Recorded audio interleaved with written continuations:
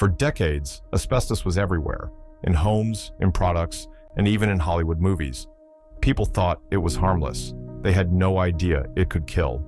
In the 1930s and 40s, film studios used asbestos as fake snow.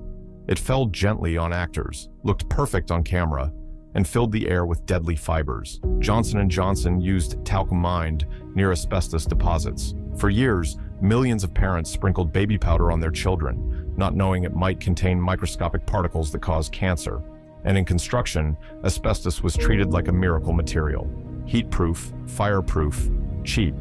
It was in walls, ceilings, insulation, tiles, everywhere. But once those tiny fibers were inhaled, they stayed in the body forever, leading to a rare aggressive cancer called mesothelioma. The world trusted it, companies promoted it, and by the time people realized the truth, millions were already exposed. A soft white powder, a gentle snowfall, a miracle material, all hiding one of the deadliest risks of the 20th century.